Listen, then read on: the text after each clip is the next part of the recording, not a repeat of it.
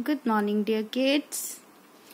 Today our subject is EVS and the topic is shapes. Today we will learn about different shapes. Okay, let's start.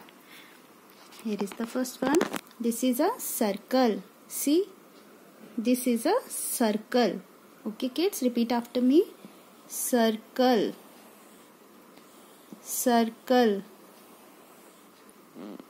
Okay. So a plate a plate is a circle okay? Now the next is square. Square. This is a square. Repeat after me. Square. Square. Okay kids? This is a square. Next is this is a triangle. Repeat after me. Triangle. Triangle this is a triangle. You love pizzas? So, your pizza slice is a triangle in shape. Okay. Next is rectangle.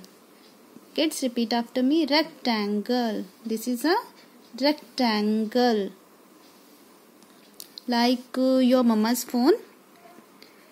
A mobile phone in shape is like a rectangle. So the shape of a mobile is rectangle. Okay kids, let's repeat. Circle, circle. This is square, square. Triangle, triangle. Rectangle, rectangle. Okay kids, learn these shapes.